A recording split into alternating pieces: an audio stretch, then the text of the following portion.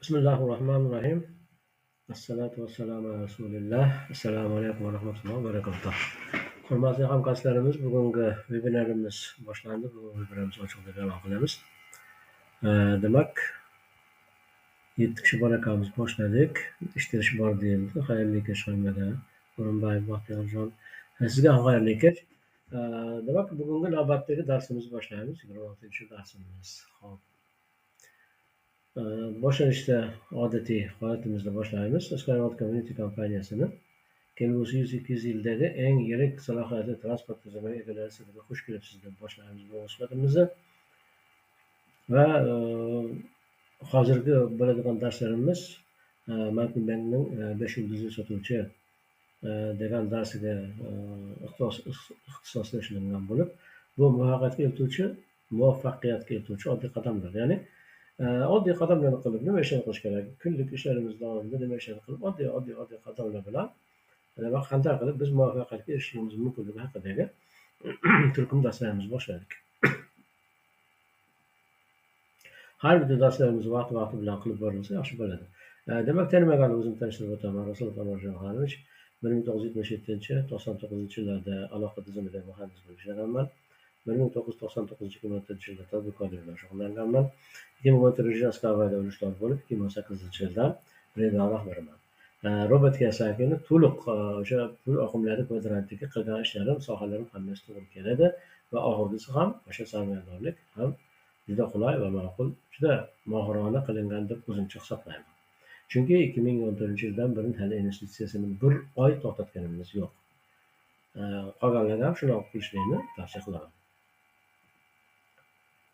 Assalomu alaykum deb yana boshlayman marketing bo'yicha xalqaro trener maykl bekni besh yulduz sotish tizimi deb nomlangan taqdimotini o'rganmoqdamiz bu taqdimotda biz hozirgi istiqbollarni qidirish oldin istiqbollar bilan nimada o'rganib chiqardik marketing bo'yicha o'rganib chiqardik istiqbollarni qidirish demak mana boshlanishda so'z boshida kelgan o'sha darsda boshlanishda maykl bekni o'zini so'zini o'qib beraman keling prospekt prospekt deb aytadilar istiqbolni qidirish deb ataladigan qadamni batafsil ko'rib chiqaylik biz allaqachon butun sotish rejalarini haqida gapirgan edik ya'ni sotish oldingi darslarimizda sotish mana yigirma oltita dars o'tilingan bo'lsa o'sha tanlab kelindi e'tirozlar bilan ishlash qanaqa nima odam nima qilish nimalarga e'tibor berish kerak mashg'ulotlarni qayta qayta takrorlash va singari juda ko'p o'g'itlarni berib keladi sotish qanaqa tashkillashtirilishi e, qanaqa qilib sotiladi nima qilinadi mahsulotni o'rganish shartligi mahsulot parametrligini bilishlik kompaniya haqida to'liq ma'lumotga ega bo'lishlik. Bu darslarni masalan o'tib bo'ldik. Shuni bu yerda aytib o'tiladi. Sotishga jarayoni haqida gapirgan edik. Biz buni juda qisqacha yoritib berdik. Endi biz ushbu oltita bosqichning har birini batafsilroq ko'rib chiqishimiz kerak bo'ladi. Ushbu olti bosqich orqali biz e, qidiruv bosqichida umuman yo'naltirish uchun avval skript kitobini yozishga boshlaymiz. Aynan nima ekanligini birinchidan istiqbolni qidiruv e, bosqichida umuman yo'naltirmaslik uchun bu nima? Biz bu biz yaxshi e, potensial mijozni topish uchun qiladigan har qanday harakat ya'ni mas'uliyatimizni mahsulotlarimizni demak kim sotib olishi mumkinligini aniqlashda yordam beradigan har qanday harakat va bu faqat istiqbolni topishni topishning e, demak boshlanishidir e, istiqbolni topish inglizadan tarjima qilgan shunaqa bolalarga bo'lib chiqarganda man ham e'tibor beraman. E, ya'ni o'shani boshlanishi ibtidosi demoqchimiz demak o'sha oltita qadam bo'yicha qanaqa qarshilikka kerak bo'lgan ishlarni e, bir joyga bordikda masalan aytaylik e, bir joyda e, kimdir bir mahsulot sotyaptida bir do'kondami bir qandaydir? Televizorda ya'ni daftaryapti qilyapti qaysi uslubda qolyapti nima uchun bunday qilyapti bilib olishimiz kerak. Sutka yigirma to'rt soat bu ishlarni qilamiz yaxshi sotuvchi hech qachon o'z tavsif ya'ni ovoz yaxshi eshitilmayapti qayerda ovoz eshitilmayapti ovoz qayda imkon qadar mana shu telegramdagilar meropolisga hop meropolisda hozir demak meropolisda e, sakkiz kishi bor ekan. E, telegramda telegramda demak to'rt e, kishi qolibdi ho'p. Telegramda eshitish bormi ana endi yozinglarchi man chatga bir qarab qo'yaychi ovoz eshitilmayapti o'rtoqlar alloh menga madadkor alloh hammamizga madadkor ismimizni aniq yozaylik deb o'tgan safar ham iltimos qildik. Ismimizni aniq yozaylik kim deb murojaat qilamiz? Olloh sizga madadkor bizga ham madadkor olloh olloh o'tganimiz yo'q. Mana xabar berib qo'ying. Eshitilish boshlandimi? Ovoz eshitildimi eshitilish bormi telegramda? Juda yaxshi. Faqat ishlayapti yaxshi rahmat bo'ldi yulduzxon rahmat sog' bo'ling ishlayotgan bo'lsa demak mikrofonlarni o'chirib qo'yasizlar. Ovozingni efirga ketib qolmasin. Demak yaxshi telegramda boshlanishda eshitilmagan ekan hozir eshitilib qoldi. Demak e, mayli yana qaytadan e, darsimizni boshlaymiz. O'sha birinchi varaqdan qayta o'qiymiz. Demak e, mana makl bek aytyaptiki keling prospektni ya'ni istiqbolni qidirish deb aytiladigan qadamni batafsil ko'rib chiqaylik. Oldinlari bergan darslarimizni biz mukammal bermadik. Darslarimiz endi bu safargi mana bugundan boshlab bo'ladigan darslarimiz har bittasi skript yozib daftar tutishimiz kerak. Skript yozish deganimiz ya'ni o'zimizga belgi qilish o'zimizga e, nima deymiz o'rchasiga aytganda zametka deydi o'rbechiskiga aytganda belgilab qo'yish deydi. Shunaqangi bir nimani qilib o'zimiz uchun daftar yurg'izishimiz kerakda. E, demak qayerda bir yangilikni ko'rsak biron bir savdo soat yoki bir televideniyadami yoki internetdami bir mahsulotni reklamasini ko'rsak demak o'sha sizni jalb qildimi e'tiboringizni jalb qildimi o'sha narsani o'zingizga bir nusxa qilib olishingiz kerak. Ha demak mana bu uslubda biz jalb qiladigan bo'lsak e, biz ishimiz rivojlanar ekan deb turib o'zingizni savdo ishlaringizga o'zingizni kompaniyangizni ya'ni biz ham sotuvchimiz.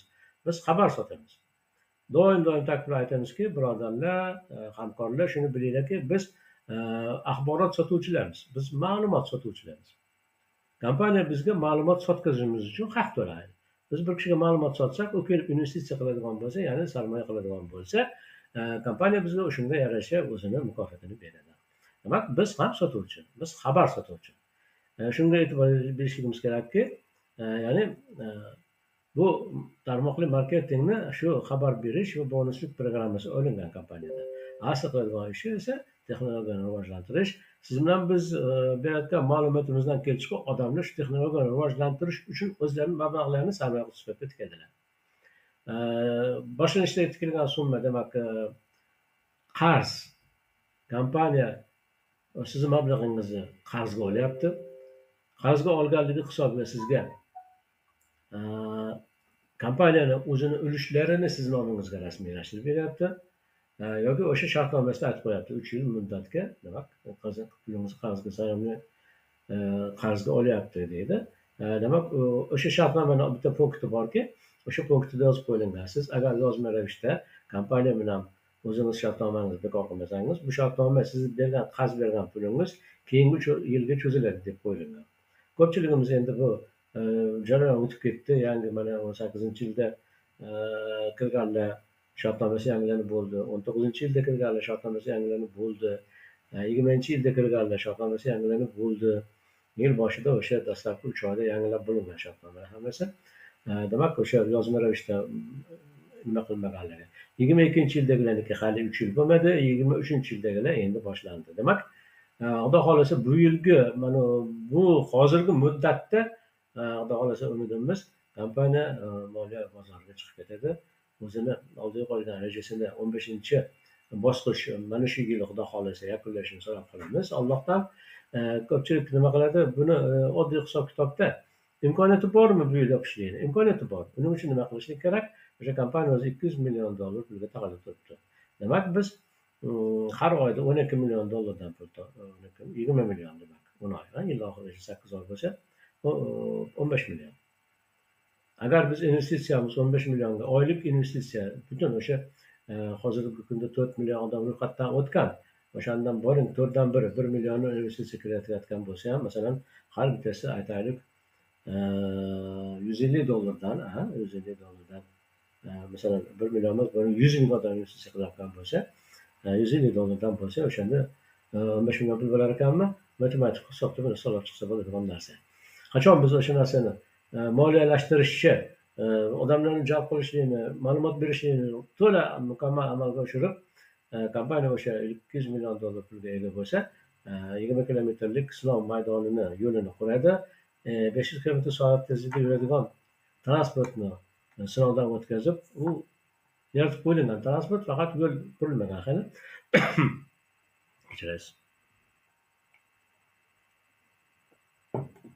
yo'l qurilgandan keyin ana shu transport besh yuz kilometr natijani berib e, sertifikatini olingandan keyin demak kompaniyaga kirish yopiladi kompaniya o'zi oldiga qo'ygan maqsadini ado etgan bo'ladi va moliya birjasiga harakat bo'ladi va kompaniya mamlakatlarga yo'l qurib berish o'zi boshlangan asosiy ko'pchilik mana shu tez yurarga ishqiboz tez yurarni qurishini ko'p mamlakatlar xohlaydi qachon buni qurib bitkazildi yo'liga daromad kelishni boshlaydi biz dividend olishni boshlaymiz demak biz buni juda qisqacha yoritib berdik avvalgi darslarimizda endi biz ushbu oltita bosqichni har birini batafsilroq ko'rib chiqishimiz kerak bo'ladi ushbu olti bosqich orqali biz e, qidiruv bosqichida umuman ha umuman yo'naltirish uchun ya'ni avval skript kitobini yozishimizni boshlaymiz. Yo'naltirish ya'ni o'zimizni o'zimiz motivatsiya berib o'zimizni o'zimiz yo'lga solishligimiz uchun yo'naltirishimiz yo'nalish mana shu shu yo'nalishda ketasan deb o'zimizga o'zimiz yo'l ko'rsatishimiz uchun avval e, o'sha skript kitob daftarini yozishimiz kerak. Har bitta amaliyotlarimiz bugundan boshlab hozir biz o'rgatadigan yo'nalishlarni hammasini nima qilishlik kerak bo'lgan har bir narsani yozib borishlikka to'g'ri keladi. Yozib borishligimiz kerak. Mana bundoq qilishligimiz kerak. Mijozni mana bu yerdan qidirishimiz kerak. Ma'lumotni mana bu yerdan olishimiz kerak. Mana bunday ma'lumot berishimiz kerak. Hattoki biz aytyapmiz o'sha televideniyadagi reklama bo'ladimi yoki mm, internetdagi reklama bo'ladimi? Ko'cha ko'yda savdo sotiq savdo shoxobchasidagi reklama bo'ladimi? Hammasidan biz andoza olishligimiz kerak. Demak ushbu olti bosqichda shunga kerak bo'ladi. Aynan nima ekanligini birinchidan istiqbolni qidiruv bosqichini umuman yo'naltirmaslik e, yo'naltirmaslik uchun bu nima? Biz e, bu nima? Bu biz yaxshi potensial mijozni topish uchun e, qiladigan har qanday harakat ya'ni mahsulotlarimizni kim sotib olishligini nima kim sotib olishlik mumkinligini aniqlashda yordam beradigan har qanday harakat va bu faqat istiqbolni topishning e, boshlanishidir. Bolaligi degani o'sha e, tarjimada ozgina o'zbekcha lug'atda ruscha tarjimada ketibdi. E, bu yerda e, man yoyiltirib buni o'qib o'qib berganim sababi bu google tarjima qilingan narsa. Tezroq ulgurishlik uchun qilingan va uni to'g'ridan to'g'ri o'qib bermaslik uchun kengaytirib aytib beryapman har jumlani o'qigandan keyin uni unga kengroq sharh berib e, sharhlab borayotganimizni sababi tushuncha hosil bo'lishligi uchun bolaligi deganda ya'ni boshlanishi ibtidosi degan bizda so'z bor.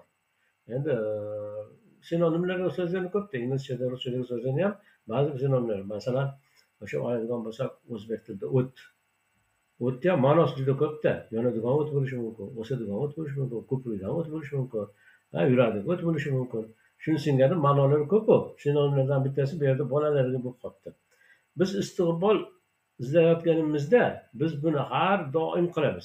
Biz haftada yetti kun sutkasida yigirma to'rt soat qilamiz. Yaxshi sotuvchi hech qachon o'z tashrif qog'ozini bilan olib ketmasdan uyda qoldirmaydi uydan chiqmaydi. Ya'ni tashrif qog'oz bo'lishi kerak tashrif qog'ozi bo'lishi kerak vizitka doim biz aytamiz vizitka qilinglar vizitka qilinglar vizitka qilinglar deymiz lekin hech kim shu yoqqacha vizitka qilmadi. Kimda bor endi bilmayman. E, o'sha vizitkamiz bo'ladigan bo'lsa biz transportda ketyapmizmi? E, Tayyorda uchyapmizmi boshqa mamlakatga bordingmi boshqa shaharga bordingmi bir kishi bilan tanishdingmi oshxonada ko'rishdingmi e, shahar transportida ko'rishdingmi odam doimiy bir biri bilan muloqot tanishish bir doimiy holatda siz nima ish qilasiz? Shunisiga savol javob bo'ladi yo bir yo'l uzoq yo'lga borilganda transport yo'nalinganda yonma yon o'tirib qolib suhbatlashiladi o'sha paytda bizni ishimiz shu shu. Doimiy ravishda masalan hozir nima desa bo'ladi? Mana shaharda uzoqdan mani kim ko'rsa o ana uskava chopada kelyapti. O'zi uskava chopada kelyapti deydi. Gapirmagan odam qolmagan eshitmagan odam qolmagan. Kimni qalbi ochildi kimni qalbi ochilmadi bo'lsa darrov vizitkani beriladi telefon nomeri beriladi vizitkani beriladi ofis qayerdaligini aytiladi tayyorlab qo'yilsa o'sha tashrif qog'ozingiz bor bo'ladigan bo'lsa yaxshi sotuvchi demak tashrif qog'ozini o'yda qoldirib ketmaydi degan doimiy yonida bo'ladi kim o'chirsa berib boradi degan gap tashrif qog'oz hammada bo'lishi kerak chunki siz oddiy nima ekan kartalaringizni qayerga ketishini hech qachon bilmaysiz va bu haq bu xuddi ma'lum bir hududga ketgan oltin ishlab chiqaruvchi misoldir. Ya'ni o'sha e, oltin qazuvchilar ham e, siz karta deganda ya'ni sizni yo'lingiz qayerga yo'lingiz tushadi? Qayerga borishligingizni hech qachon oldindan bilmaysiz. Siz bugungi kunda kim bilan uchrashasiz? E, nima ish bilan bog'liq bo'lasiz band bo'lasiz? Qaysi tomonga borib qolasiz? Oldindan hech qachon bilmaysiz taqdirotingiz oldindan nima turganligini. Buni ham aytdiki bu yerda oltin qazuvchilar masalan qayerda oltin borligini bilmaydida e, ular demak o'sha e, qaysi tosh ostida oltin bo'lishligi mumkinligini bilmaysiz.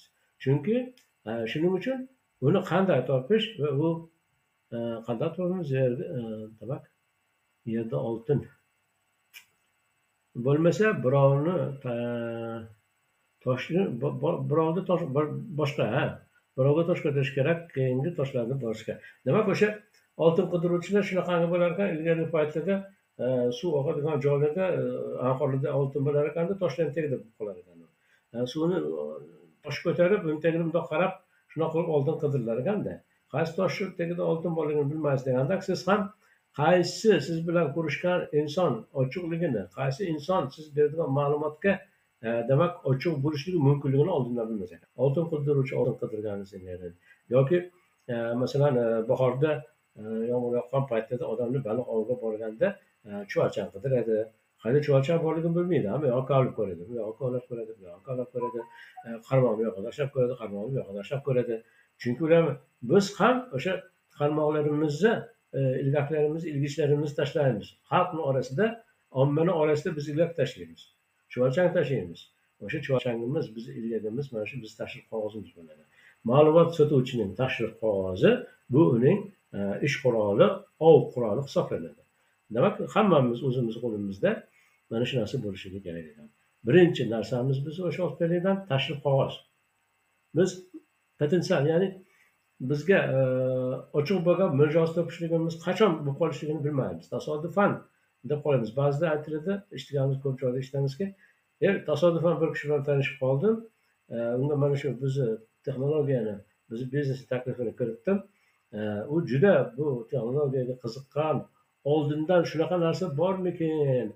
Mana biz e, avto nimaga aerobuslarga yoki mana uchoqlarga e, avtomobillarni kompaniyalarga tashkillashtirishda ularni biz e, ulushdor bo'lib qololmadik. Ularni kompaniyalarga biz egalik huquqini qo'lga kiritolmadik. Ya'ni soavtor deydi muallif ham muallif bo'lolmadik boshqa kompaniyalarga.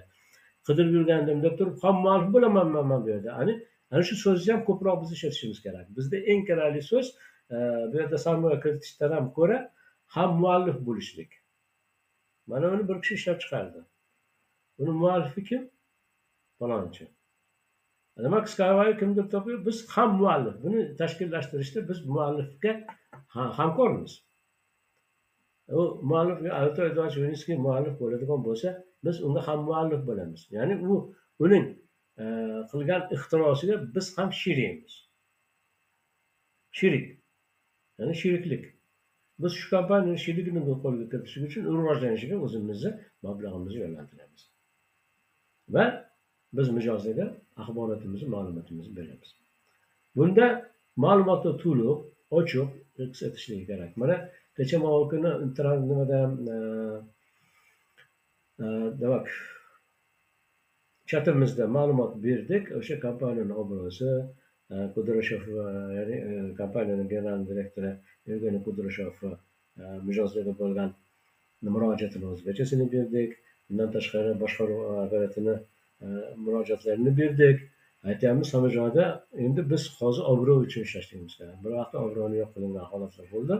Hozirgi kunda kompaniyani obro'si reglament ya'ni imij imij reglamenti bor kabinetlarimizda yozib qo'yilgan o'shanga amal qilishligimiz kerak atamalarni so'zlarni hammasini man chatda tashladim o'zbekchasini ham tashladim o'rischasini ham tashladim o'sha o'zbekcha so'z atamalarni hammasini bilib olishimiz kerak ya'ni discover degan so'z yo'q uniski string texnologiya bo'ldi lekin skyway so'zi loyihasi qo'shimcha so'z bilan skyway loyihasi deb ishlatishlik yoki skyway texnologiya loyihasiga degan jumlalarni qo'shib o'zini alohida ishlatib bo'lmaydigan davrga kelamiz biz mana reklamalarimizdagi brendimizdagi ofisdagi reklamalarni ham bor edi ilgari shu yozuv bor degan o'shani olib tashladik demak uni o'zini hozir talaffuz qilib ham uni biror joyga yozib uni gapirib ham bo'lmaydi unity string texnologiya. O'sha rebrending bo'lgandan keyin o'sha rebrendingni shunaqa deb e, tavsif qilindi biz esa o'sha unity string texnologiyani rivojlantirishlik uchun uni ham muallif bo'lishlik uchun E, skyward community platformasi orqali ma'lumotlarni odamlarga uzatamiz odamlarga biz ma'lumot sotamiz. Sotuvchimiz ma'lumot sotamiz. Biz bergan ma'lumotimizga qarab odam odamlar o'zi qaror qabul qiladi. E, ilgari biz odamlar ishini bajarib berdik doim. Bu xato ish ekan. Bajarib berishlik bilan odam esdan chiqib ketar ekan. U besh yil olti yil o'tgandan keyin mani bir o'tgandim man loginim bormidi parolim bormidi deb qolar ekan. Shuning uchun har bitta odam o'zi qilishligi kerak. O'rgatib o'sha narsani ko'rsatib tepasida turib telefoningni och kompyuterini och mana buni bos mana buni bos mana buni buni buni buni buni deb turib har bittasini e, ochib tushuntirib va ro'yxatdan o'tishlik uchun mana bu saytni ochamiz. News capital mm, e, sayt orqali ochamiz mana bu registratsiyadan ro'yxatdan o'tish tugmachasini bosamiz mana bu yerda ismimizni yozamiz mana bu yerga telefonimizni yozamiz mana bu yerga elektron pochtamizni yozamiz bu yoqqa parol qo'yamiz hammasini tushuntirib tushuntirib borib e, o'rgatib mana shundoq qilib ro'yxatdan o'tiladi masalan biz tushuntirib boryapmiz mijoz o'zi telefonda bajaryapti biz o'zimiz telefonimiz orqali bo'layotgan jarayonni yozib boraylik. Bu esdan chiqib qolmasligi uchun o'sha yozilgan jarayonni o'zini telefoniga telegramga ijtimoiy tarmoqda qaysi bir qulay yo'l bo'lsa yozgan yozuvimiz uni telefoniga darrov bluetooth orqalimi orqalimi tashlab beraylik u keyingi ishlarni shu biz yozgan yozuvimiz bo'yicha bajarsin juda bizda katta bo'lgan xatolik shu bo'lgan ekan shuning uchun savol javob hali hozirgacha qachon dividend kabinetga qanaqa kiriladi qaysi saytdan o'tilingan bu savollar o'shanda bahna o'zidan o'zi mana shu savollar yo'q bo'lib ketadi qachonki biz jarayonni tushuntirib borib uni o'ziga bajartirsak ro'yxatdan o'tdi. Telefoningda pasporting bormi? Ha yo'lingda bormi? Rasmni ol jo'nat kompaniyaga. Yo'lkasidan o'tdingmi mana kabineting mana banking degan tugmacha. Mana bankingni bosganingda mana e, счетni to'ldirish imkoniyati bor. Mana rekviziti degan joyi bor. Rekvizitiga kirasan plastik kartochkangni yozasan. Plastik kartochkani yozgandan keyin uni tasdiqlaysan. Va plastik kartochka orqali pulni kabinetingga tortib olib paketni xarid qilishing mumkin deb hamma jarayonni bosqichma bosqich bosqichma bosqich qadamba qadam qadamba qadam o'rgatib borganimizdan keyin uni albatta yana e, videoga yozib o'zini telefoniga tashlab beramiz. Keyin u taklif qilishlik jarayonida o'sha narsadan foydalanadi quvvatlanadi shu narsadan foydalanadi и unda biz oxirida o'sha registratsiyadan o'tgandan keyin qayerdan e, taklif e, tashrifini qayerdan olishligimiz ya'ni referalniy ссылка deymiz havolani qayerdan tashrif havolasini qayerdan olishligini ko'rsatib o'sha yerdan qanaqa olishligini ko'rsatib beramizda. U e, holatda birovga qanaqa jo'natishligini tushuntirib qo'yamiz. Bu jarayonni hammasini yozib boradigan bo'lsak tasvirga tushirib uni o'ziga beradigan bo'lsak bu ajoyib eng to'g'ri eng yaxshi eng zo'r ish shu bo'lgan bo'ladi mana shu holatda biz mijozlarimizni o'rgatib tayyorlab borsak e, bizga keyinchalikda savol chiqmaydi. Mana darslarimiz bo'lyapti. Mana shu darslarimizni masalan mm, tashlab boshlanishidan buniki endi hozir e, yetmishinchi dars mo'ljaldaku sanoq bo'yicha yetmishinchi dars. E, buni yetmishdan ham ortiqroq balki dars. E, Yugurib borib bu darsda ishlatsangiz kimdir tushunmasligi mumkin. Bu sizlar uchun ya'ni mijozlar uchun o'zimiz hamkorlar uchun tushunarli bo'lishligi uchun g'ijjalab g'ijjalab buni gapirilyapti bu dublyikatsiya darsimiz asosan hamkorlarga. Mm, odamni qanday jalb qilishini tushuntirishlik uchun qilyapti masalan. Demak siz e, mijoz potensial mijozni ya'ni istiqbolli mijozni qidirishingiz uchun e, qiladigan ishlaringiz o'sha yo'l yo'llarni o'rganib e, kuniga demak haftasiga yetti kun sutkasiga yigirma to'rt soat bu narsani o'rganib o'zingizni takomillashtirib borgansangiz siz atrofingizda o'zingizni birinchidan mahoratingiz oshadi ikkinchidan sizni bergan ma'lumotingiz ularga yetarli tushunarli bo'ladi. Qachon biz o'zimiz ma'lumotni yetarli berolmasak tushuntira olmasak texnologiyani o'rganmasak qiyin albatta. Sizni mijozingizni yoki tanigan odamni ya'ni bu e, tarmoq harakati kunli bo'lishi hech qachon bilmaysiz. Ha bunaqa kimni e, bilishini ha bilmaysiz hech qachon bilmaysiz. Bu biz ochiq mana ya'ni matn o'qib beryapman e, ochiq bo'lishimizni sababi biz amin bo'lishimiz kerak chunki bizda boshqalar uchun qadrli bo'lgan narsa bor. Va biz gaplashganim e, gaplashganimizdek eslaymiz. Oldin bu haqda boshqa odamlar sizga potensial mijozlarni yuborganda sizda e, tavsiyalar tizimi mavjud bo'lganda agar ular sizda biron sizdan biron narsa sotib olishsa bu odamlar ularga qandaydir bonuslar va e, boshqalarni berish orqali mukofotlanishi kerak.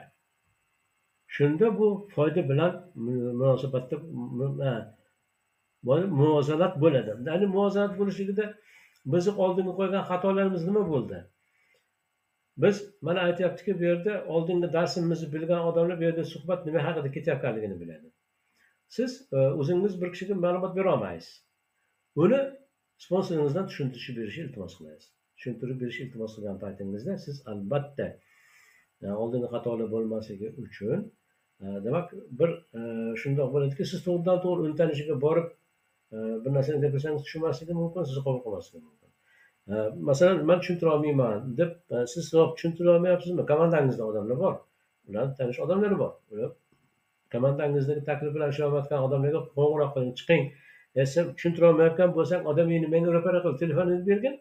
Man unga tushuntirib berayin deysizda uni unga tushuntirib o'zingizga yoza olmasdan o'sha e, ya'niki bonus. Siz o'zi shundoq ham unga yozib bersangiz ham bonus chiqadi sizga. Uni ham rahbarlantirishingiz kerak. Keyin u odam sizga berishligi uchun uni rag'batlantirishingiz kerak. Ya'ni uni referans ssilkasi bo'yicha unga yozib berib tushuntirishini berasiz unga yozib berasiz. Unga odamga o'sha tanishingiz tanishiga borgan paytda aytasiz sizni e, palonchixon juda yaxshi tavsifladi. Siz juda maktabda ham zo'r o'qigan ekansiz. E, maktabda o'qigan paytingizda ilg'or bo'lgan ekansiz. Boshqa sinfdoshlaringiz sinfdoshlaringiz oldida ko'proq bir yangilikni ilg'aydigan ko'proq bir tushunib oladigan yangi texnika texnologiya desa darrab tushunchangiz keng bo'lganligi uchun maktabda yaxshi o'qiganingiz uchun sizni e, iqtidorli deb aytishdi. Iqtidorli sinfda o'qigan ekansiz. Ha i e klassda bora bizda maktablarda. Shu siz tanishingiz faloncha sizni maktab e, o'zini hozir vaqti yo'q ekan kelishga meni yubordi. Mendan iltimos qildi sizga ma'lumot berishlikni. O'zida sal ma'lumotlar chalarroq ekanmi yoki o'zini vaqti bunaqa ekan deb turib unga ma'lumot to'liq yetkazib bergan. Siz uni oldin tanishib uni tanish orqali kelganligingizni aytsangiz u sizni darrov qabul qiladi. Vizitangizni berib mana o'ylab ko'ring mana shu narsani do'stingiz sizga shu bugungi kunda bu juda urfda bo'lib turgan bugun erta biz oxirgi bosqichdamiz hozir. Bugun erta yakunlanish jarayoni bo'lib o'n beshinchi bosqich yakunlangandan keyin yana kirib e, urushdor bo'lish yoki bir mm, ham muallif bo'lishlik imkoniyati yo'qoladi. Shuning uchun ham muallif bo'lib qoladi. Mana bitta kitob yozilsa ham ham mualliflar bo'ladi muallif deydi erkin komilov unga sadriddin ayni falonchi pistonchilar ham muallif bo'lgan ham muallif deydi bular sovchi deydilar deganda narsada shunaqangi ham mualliflik bo'lishlik imkoniyati turibdi. Tezroq o'ylab ko'ring do'stingiz sizga juda katta imkoniyatni beryapti. Do'stingizni qadriga yeting do'stingiz sizga shunchalik mehribon ekanki do'stingiz sizni shunchalik yaxshi ko'rar ekanki bu ma'lumotni siz bilan baham ko'rishlikni tezroq sizga ma'lumot yetkazishlikni mandan iltimos qildi marhamat yaxshilab tan bering buni quloq soling e, degan maqsadda ina e, tashrif qog'ozini berib birinchi dastlabki so'zimizni avvalgi darslarimizda bordiyu aytamizda bu haqida ozgina janr ochib qo'yamizda. Iltimos man hozir bir joyga uchrashuvga shoshib ketgandim meni beshta kishi kutib turuvdi ularga man bugun taqdim o'tishim kerak edi. Telefonlashamiz mana. Siz telefoningizni bering mana mani taklif tashrif qog'ozim mana. Siz nomeringizni yozib oling man darrov nomer bitta qog'ozga yozib kechki payt qo'ng'iroqlashamiz. Yoki xayrli kun xayrli tun xayrli kech. Do'stim siz bilan biz kunduz ko'rishuvdik. Palonchi do'stingizni tanishiman man sizga man tashrif qog'oz beruvdim. O'sha masalasida qo'ng'iroq qilyapman mani bugun bugun uchrashuvlarim ko'p edi. Siz qachon E, mana ertaga soat o'n birlarda bo'sh vaqtim bor. Ertaga ko'risha olamizmi e, yo ko'risha olmaymizmi? Qachon sizda ertaga vaqt bo'ladimi? Ertaga falon joyga kela olasizmi shu haqida sizga ma'lumot to'liqroq bermoqchi edim. Telefon orqali to'liq ma'lumot berib bo'lmaydi. Yuzma yuz o'tirib sizga ma'lumot bermoqchiman deb u bilan gaplashasiz. Mijozlarni jalb qilishlik mana shundoq bo'ladi. Har bitta ishda ham jonkuyarlik bo'ladi. Do'konchi bo'lsangiz do'koningizga kirgan odam kirib kelsa bitta qog'ozni olib olib do'konda qog'ozni olib o'qib. Ha keling qara nima kerak? Qarayvering deb o'tiraversangiz chiqib ketadi qaytib mana sayt mandan qo'yib o'rganib oling desangiz ketadiku uni qo'ldan ushlab yetaklab borib bu narsani o'rgatishlik kerak.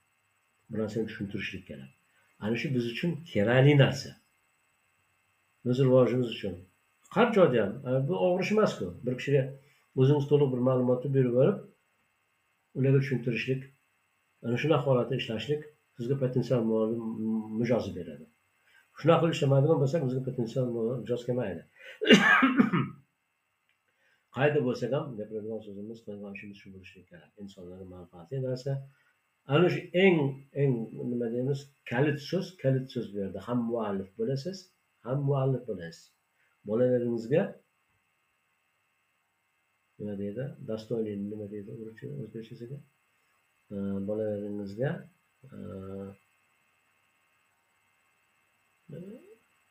nima deydi? Shu bolalaringizga shunaqangi bir imkoniyat e, meros qoldirish imkoniyati bo'ladi sizni deb tushuntirib berasiz.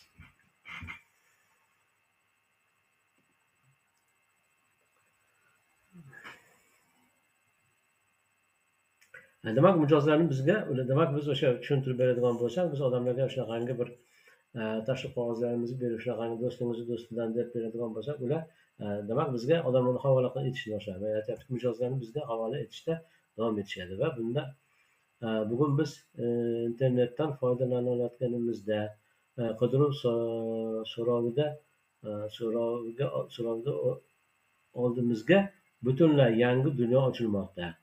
Agar siz facebookni facebook kabi ijtimoiy tarmoqni olsangiz ya'ni ular e, yetakchilarini topishni ajoyib usullari va ular juda arzon usullardir. Lekin siz o'zingizni va hokazolarni reklama qilishingiz mumkin. Shuningdek shuning uchun bu yerda juda aqlli bo'ling va har doim hozirgi paytda qoling. Hozirgi paytda qoling degani будто настоящим o'rikchasiga ha yevroon yevrotime har doimda har o'zingizni qoling o'zingiz bo'ling. O'z o'zingiz bo'ling. Har damda o'z o'zingiz bo'ling o'zingiz vaqtingizni toping. Shunaqa bo'lib deb bu yerda mana internetda ishlashlikni qanchalik oson usulligini facebookda qanaqa ishlashni boshlashni biz boshladik ishni bir qiziqish bo'ldida facebookda tanish tanishlaringizga reklama qiling deb nima qilsam facebookka hammasiga reklama qilibsizlar. Bir vaqtda shunaqa dars o'tuvdik o'sha darsda qatnashganlarmi hammasi mana biz a'zo bo'lsak inilarim singillarim ukalarim jiyanlarim kontaktimda asosan ko'proq ularda o'shalarga chiqib e, ya'ni o'zimizni hamkorlarga chiqib e, yana shuni taklifini kirittiribdi undoq emas siz e, o'zingizni tanish doirangizga qarang. Birov kontaktga kirib birov do'stlikdan tarqatmang bu narsani. Juda xunuk narsa bo'ladi bu. Siz o'zingiz lentaga yozing. Lentaga yozsangiz lenta orqali o'sha yerda bir birorta bir imo qoldirsangiz e, nima haligi imo messenjer imo emas haligi ya'ni ishora ishora ishora o'zingizga qanday bog'lanish to'g'risida telegramingizga yozib qo'yasizmi e, yoki e, telefoningizni yozib qo'yasizmi yoki pochtangizni yozib qo'yasizmi yo facebookingizga to'g'ridan chiqishligini qanaqa murojaat qilishini yozib qo'yasizmi qilib reklamangizni qilganingizdan keyin kun davomida uni kishi uch to'rt bor bor kirib telegramga ham kirib masalan telegramda ishlayapmiz ijtimoiy tarmoqda ishlayapmiz bo'sh qolgan paytimizda youtubeda qanaqangidir rolikni qanaqangidir polikni tomosha qilmasdan o'sha o'zimizni akkauntimizga kirib birov kishi mani ma'lumotimni o'qidimi kommentariy qoldirdimi menga bog'lanish kontaktini qoldirdimi deb kirib ko'rib ishlashlik bu ham juda qulay narsa hech qachon ko'rmagansiz hech qachon eshitmagansiz siz bergan ma'lumot unga yoqdi. U to'liqroq ma'lumot olmoqchi bo'ldi. Siz to'liq ma'lumotni berdingiz u mijozga aylandi potensial mijozga aylandi balki o'sha mijoz orqali uni orqasidan minglab odam sizni komandangizga keladi. Buni siz bilmaysiz. Keyin ma'lumotni berib boshqa bo'lib ssilkani berib mana ro'yxatdan o'tgin shu yerda ma'lumot bor deb ketavermaslik kerak. Ro'yxatdan o'tkazib qo'yib ssilkani berib qo'yib ro'yxatdan oh ro'yxatdan o'tdi deb ha zo'r bo'ldi bitta registratsiya bo'ldi demasdan uni o'rganish kerak hop o'tdingizmi nima bo'ldi verifikatsiyadan o'tdingizmi pasportingiz yukladingizmi o'rganib chiqdingizmi nima bo'ldi yoki haligi yerdagi uchrashuvlar bo'ladigan bo'lsa mana qanday taqdimotlarga taklif qilyapti masalan dushanba yakshanba kunlari ko'rishib qolsangiz seshanba kuni taqdimotimiz bor taqdimotga kelsangiz taqdimot qilamiz yoki ofisda taqdimotimiz bor falon kun taqdimotga keling deb odamlarni jalb qilib taklif qilib ularni kuzatuvga olishligimiz kerak ro'yxatdan o'tgandan keyin ularni rezultatgacha ya'ni biz biz rezultatgacha degan gap so'zni ishlatyapmizku ya'ni natijagacha degan so'z o'shani ko'tinib quvib yordam qilib boshqa qilib o'zingiz tushuntira olmasangiz sponsoringizdan sponsoringiz tushuntira olmasa sponsoridan e, tushuntira olmasa bizdan kuratordan biz tushuntira olmasak e, kompaniyani marketing bo'limidan piar bo'limidan e, yordam so'rash mumkin. Bu hammani eshigi ochiq yordam beriladi. Mana shu tushunchani bilmagan yetkazib o'sha qanaqangi savollarga javob e'tiroz beradigan bo'lsa e'tiroz bilan javob bera olmasangiz mana o'zingiz hamkorlaringiz bilan sponsorlaringiz bilan ishlab bu narsa lekin liderlar sponsorlar ham doim takliflaringlarga ochiq bo'linglar ochiq ko'ngil bilan yordam beringlar mana shunaqangi o'zlari aytolmaydigan bo'lsa kontaktlarga kontaktlarga ma'lumot beringlar ho'p demakki bizning istiqbollarimiz qayerda bo'lishi mumkin? Mijozlar va har safar biron bir treningda qatnashganingizda yoki savdo bo'yicha kitoblarni olganingizda sizga yangi e, g'oyalar paydo bo'lganda o'zingizni potensial mijozlaringizni qanday topishingiz mumkinligini haqida ushbu g'oyalarni yozing. Shaxsan men uchun shuning e, shuning uchun men o'zim e, sizniki e, siznikini qidirishdan e, oldin bu haqda sizga aytdim. Ko'p marta faqat bir vaqtingiz e, bir vaqtning o'zida menda menda olmos uruvchi bor edi. Demak mening italiyalik sherigim bor edi. Biz u bilan birga hindistonga sayohat qildik va u yerda olmos sotib oldik va asosan buning uchun potensial mijozlarni qanday qidirishni qanday topdik biz tashrif buyurdik ko'rganing ko'rgazmalar demak bu aytyaptiki bu yerda aytyaptiki bir vaqtda olmos